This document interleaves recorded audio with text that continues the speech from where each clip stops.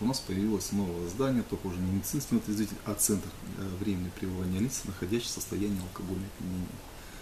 Вот. Но основные задачи нашего центра это с улицы подбирать граждан, ну, под- подбирают сотрудники, естественно, полиции. У нас наружных нарядов нет, но только внутри помещения с целью предотвращения, чтобы пресечь замерзание, предотвратить, вернее, замерзание граждан, подвыпивших э, в зимний период времени, которые находятся в состоянии алкогольного опьянения, вот, чтобы не было никаких морожений, самое главное, замерзание плода локального исхода.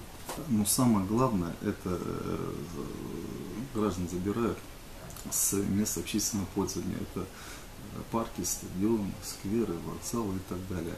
Вот, э, чтобы они не нарушали человеческое дос- достоинство и общественную нравственность. Положительный фактор, я считаю, ну, это э, предостережение, предотвращение пьяной преступности. Ну, что такое пьяная преступность? Это пресечение попыток посягательств на личное имущество граждан, которые находятся в состоянии алкогольного опьянения, третьими лицами.